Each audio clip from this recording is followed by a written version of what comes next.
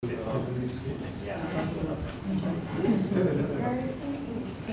evening, everyone. Uh, my name is Karthik Muraliraj. I'm here with Vatsal Assar. We're with MPACT Financial Group. We're one of your annual sponsors this year.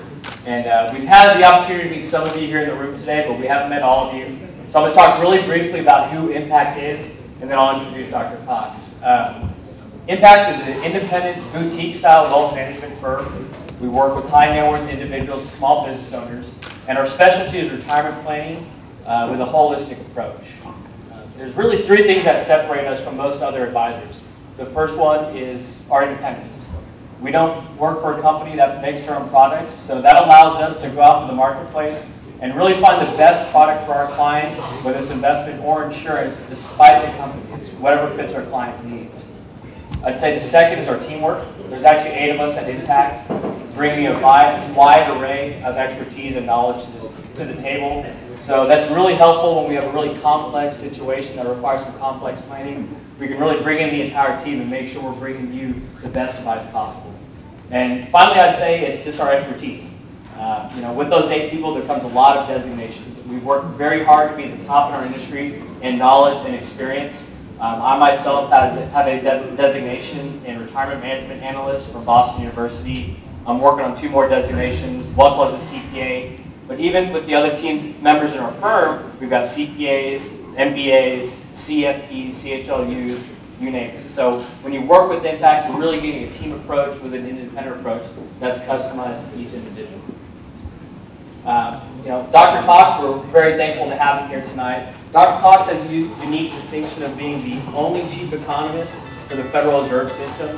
Um, he's been published worldwide, New York Times, Financial Times, USA Today, CNN.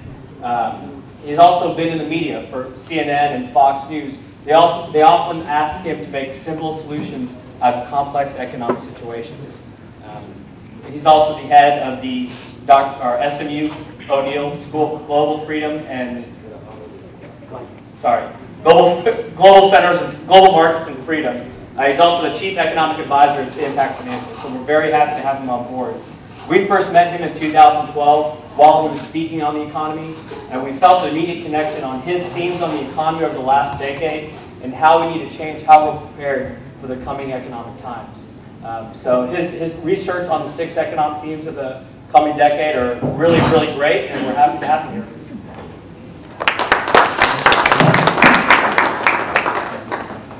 Thank you, Karthik. Uh, before I get started, there's something you need to know about me. I've seen more Hollywood films than anybody in this room. and you can ask me what my favorite ones are later. Okay, uh, I'm going to save any investment advice I have for this to the very end of my talk, or for these guys at MPACT. They are also my financial managers, and you might guess given that I give speeches to financial advisors all over the country, that uh, I have seen the best, and I still have decided to choose these guys because they are the best, and I'm lucky that they are here in town, and they did, they're doing a great job for me in many dimensions. I'm a high net worth individual, have a lot of problems that need to be managed, you know, trusts and so on. So they do it all. They do a lot of money in taxes too. That's getting increasingly important. All right. I don't want you to think of the financial space being here, investments, and the economy being over here. You hear financial advisors all the time talk as if they are separate. They're not.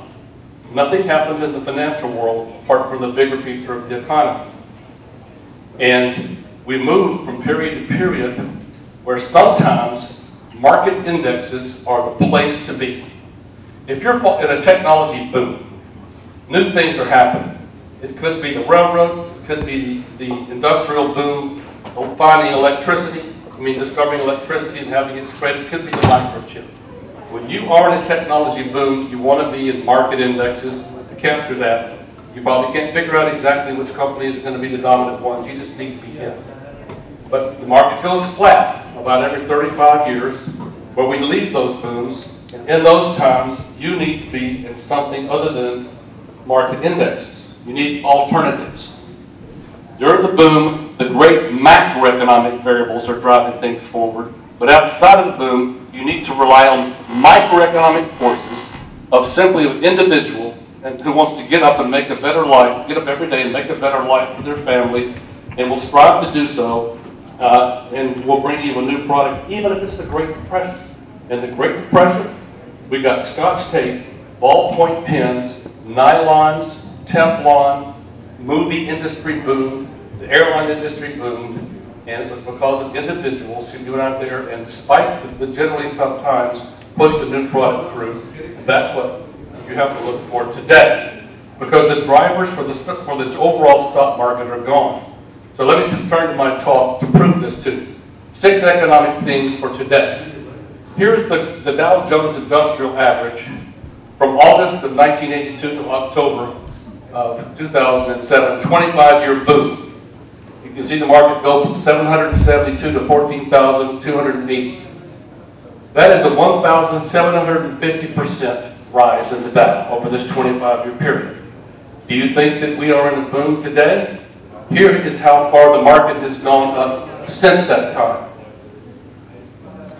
Now, that's only seven and a half years. So to be comparable, I'm going to compound it. If the market were to keep going up the remainder of this quarter century at the same rate it's gone up the first seven and a half years, it would be up 111% in 25 years. Look how they compare. This is not a bull market.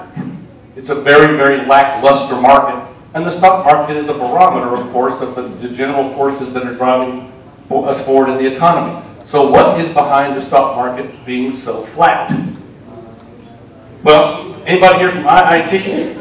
Okay. You better not tell me you can't understand this, because it has to do with the tax rate that you pay when you get your earnings. You have to pay 43.4% to the government. Inside this earnings right here are corporate income taxes. That's taken out before, these are after-tax, after corporate income tax rate earnings. There's the interest rate. And so if earnings are growing rapidly, if taxes are low, interest rates are low, you have some stock market drivers. Drivers for the stock market, if the market is rational, drivers for the stock market are falling income tax rates, falling corporate income tax rates, strong earnings, um, coming from, you know, just a lot of demand or, or a boom or technology or something, I'll get into that. Interest rates falling and falling inflation too, and this is because when falling, inflation is falling, people switch kind of from stocks to, um, they switch out of, um, assets like land and commodities and into stocks. Now, with that in mind, let's go back and look at what was happening in the 1982-2007 period, see what was driving the market and how that compares to what's happening today. There were six main drivers of that bull market from 1982 to 2007. The first was innovation, historic innovation. The second was globalization, very rapid globalization. The third was falling inflation. The fourth was trust. Credit was abundant. It was big, uh, low perceived risk, perceived risk in the economy. Consumerism was driving things forward, and also government was becoming smaller, taxes were falling, and it was becoming a shrinking part of our lives. Those were the six drivers of the boom. Let's go through them one at a time. Innovation. Well, I'm old enough to remember the technology explosion that happened back then. It was led by the microchip. The microchip those numerous technology spillovers on the economy. Computers, smart products, software, the internet, computational biology, that's using the computer to calculate the human genome. The birth of nanotechnology, growth was everywhere and growth was strong. This little bitty micro, you know, 4004 chip gave birth to all these smart products and many more that we now just consume today and it's just a regular part of our lives. These things can't exist apart from the microchip. All these products and all the jobs they represent and all the earnings go away without the microchip. Those are the consumer products, but it's also the final approach spacing tool, which lands planes. The entire 3D seismic kind of fracking we have here today is a byproduct of the microchip. Point of sale terminals, robotics in factories, CAT scans, MRIs. You know, we have these uh, scanners, things that for our groceries, ATMs, kiosks, all were born with the microchip. And here's the tech sector growing from 0.16 trillion to 1.6 trillion in three decades as a result of this economy. As if that wasn't enough, we connected our computers and had the internet and, and further accentuated the boom, made the boom bigger. It was a unique growth period. From 1982 to 2007, average annual GDP growth was 3.5% uh, over this 3.4% over this 25-year time period. It was astounding. We had, in, in a 300 months, from October of 1980, from November 1982 to November 2007, out of 300 months, we had 16 months of recession. That's 5% of the time, as compared to historically norm for 100 years of 40% of the time. It was the biggest boom in, US, in recorded history in the United States. But what about going forward? Well, we're in a technology slowdown today, of course. Something happened to my first line there, disappeared. But, um, but there, there will continue to be some technology spillovers from the microchip. Yes, they happen. They're, they're technology spillovers, but they're not on the order of the computer or the internet. They're here, but they're not really big things. We're basically waiting for the next big thing. And it's going to be something in biotech. It is the biotech boom. It's just that that's a big deal that takes a long time to work through with genomics and pharma- pharmacogenomics. It's going to be as big a boom as the chip boom. It's going to be slower and it's going to last longer. Uh, and it's coming, but it's, uh, it's not here yet. We're looking for maybe in the 2020s before the next really big thing comes here. We're on the backside of the Kondratiev wave. Russian economist Nikolai Kondratiev discovered these waves that come around every 60 years associated with the railroad, electricity, the microchip. Back in 1807, it was the steam engine. And they, have, they, they give birth to a whole new economy, a new paradigm, and they carry with them a boom, a tsunami, a big wave, not a little bitty wave, a big wave, dampening all the other business cycles. Uh, and then you get to the backside of it, and you have um, smaller waves, and but they're you know, still positive, it's just not a huge deal. So the whole idea of some books which were written back here in the 80s, 90s, saying down 100,000, you know, come on, no way. It's, it's not going to happen. We, we can't get to 100. We can't even get above 18,000 and stay there very long. Okay, it's not that easy anymore. One, one big driver, the big driver, technology.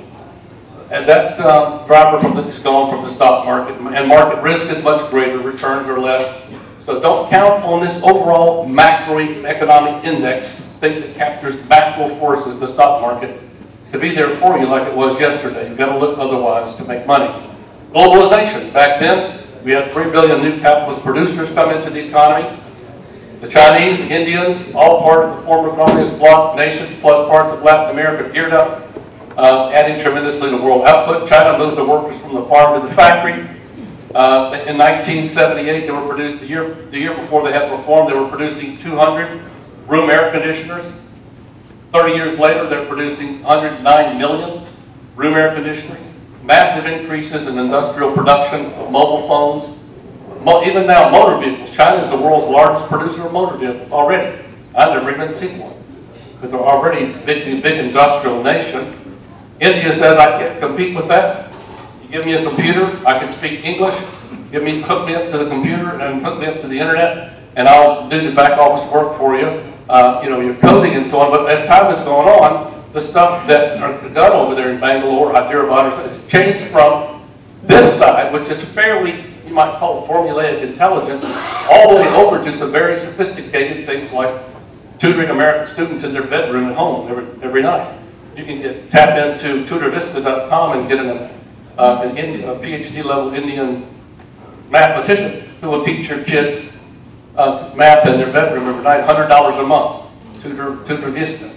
So there's a whole bunch of sophisticated things happening over here now. What's the result of all this? Falling costs for American companies, rising productivity, all helping earnings. And so you see the E part of that equation going up because of that. Going forward there, going forward now we have 3 billion new consumers this time. Now this is the bright spot. I want you to think about this. There's not a lot of bright spots in the current you know, 12 years that I'm going to talk about, but this is definitely one. This is where you get micro and you look beyond the general indexes. 3 billion new cons consumers. And American companies that tap into this rapidly growing foreign market demand are going to strike a gold mine. China and India are growing middle classes the entire size of the United States. So we see, you know, when, when we stopped capitalism in Japan and Germany following the Second World War, they grew rapidly for a while, but they slowed down. Same thing happened when Korea joined the capitalist club. Now we see China growing at a rapid clip, India less so, but they're still growing. More income means more consumption. Uh, pop- population comparisons and the labor force comparisons are astounding. Compared to the United States, you know, this is 3 billion people, we've got, we've got three, a tenth of that, about an eighth of it really in terms of labor force, with faster growth rates in GDP than the United States. And what that means, and I'm assuming that the United States growth rate is going to decline going forward, because it has been. Also, China and India are, in, we know about their exporting a lot more, and some people worry about that, but hey, you don't ever worry about them importing more, do you? They're buying our stuff. And, you know, there are a lot of imports of U.S. goods and services over to these two um, mammoth countries. Buying things. In 1978, only one product, washing machine, was owned by more than 10% of Chinese households. But with the economic reform, we discovered they want a color TV. They do want a, a washing machine. They also want to live in air-conditioned buildings. And they want a mobile phone, but they've got a good landline phone. And not many of them had a car, yet only about 7% have an automobile. But look at the massive increases in consumption. Those are investment opportunities. If you just stage your investment the right way, because again, this is microeconomic. Look down at the individual alternative opportunities that are there for you. Betting on electronic products first, then on down the line, betting on uh, the automobile. Now the same thing's happening in India, just less so so far, because uh, they're not as wealthy yet as China. But you see the same thing coming on. Color TVs, cell phones, um, and, and so on. Okay, so what happens here is that these people who have these products to sell in the United States and elsewhere in the rest of the world advertise in a lot of Bollywood flicks. Maria and I go watch Shah Rukh Khan, I'm a huge fan of Shah Rukh. And then what do I see? I see a Starbucks in the background, I see an Apple, I see Nike check symbol, I see a, a, an iPhone, you see all the products. Get your eyes off of this wire ride, uh, and you see the product. And Apple so sales are just zooming up on the basis of foreign sales. Uh, Apple's 61% foreign sales today compared to 40% back then, driving its uh, driving its. Um, um, the reason I stopped thinking here, the reason I stopped thinking for a minute, I was reminded of the fact that these guys told me not to sell my Apple stock. but I thought I knew better, and I sold it, and now I'm just cussing myself. Uh, okay. Anyway, so product placement in Bollywood films is enormous and it's having a big effect because this is a huge market. Look at um, Yum Brands. Yum Brands, 24% of their sales are their Kentucky Fried Chicken and their, um, their root beer and pizza and stuff were foreign in 1998. Today it's 77%. As a result of it, look what's happened to the Yum Brand stock. This was when the market closed today, it's up 976% uh, over this past 17 years, well, the market's up, you know, what, 25%. Um, and they expect to have more profits coming from China and more restaurants in China than um, in the United States. Opened up a Taco Bell in India recently. 2,000 people stood in line to get a taco first day. So tacos are big hit in India. But it could be something as simple as toothpaste, which the population is now buying with more income. Or it could be, you know, oral care, not just other kinds of oral care products, cosmetics, skin care, bath and shower products, deodorants, big hit across the world. Or it could be pills. You know, these are easy to supply the rest of the world, marginal cost of selling pills. But I'm telling you about individual stocks now, not market indexes. I'm telling you about a strategy. I'm telling you about thinking. Telling you about a plan, which is alternative to the overall indexes. eBay, boom in sales abroad. Texas Instruments sells gets 90% of their revenue from sales abroad. The Dow 30 companies today now have